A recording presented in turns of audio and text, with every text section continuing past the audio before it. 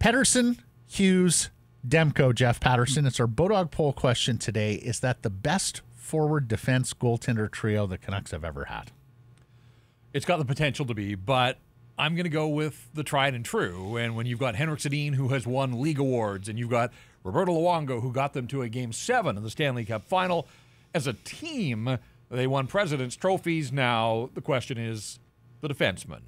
And certainly this mm-hmm. modern version, Quinn Hughes, I think he stands alone, but I'm still going to go whether it was Edler or Hamhuis. Uh, Christian Ehrhoff. Throw in Bieksa. Take your pick of the defenseman yeah. from that era. I'm going to go with that era as the top trio. It's almost as good a debate within the debate to debate who from that 2011 team would be the representative on defense. You've got a lot of options, as you mentioned.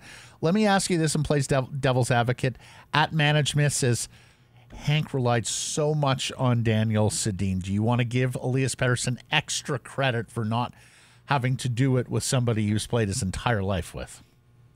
Uh, they don't look alike, but I think Andrei Kuzmenko has been a pretty good complementary piece for Pettersson this year. So uh, Henrik had the one year where Daniel missed the 30 games, and all of a sudden Hank morphed into a goal scorer as well. And I think mm-hmm. uh, he would prove or use that as proof that he was all right. As much as he liked having Danny there, he was okay on his own. Yeah, I'm with you. I give Hank a little bit of an edge over Elias Pettersson right now. I mean, heck, 113 points in a league MVP says something. I give Roberto a little bit of an edge over Thatcher Demko at this point. But before we forget, shout out Kirk McLean, Jyrki Lumme, and Pavel Bure, because that was a pretty good trio from the 94 Cup team as well.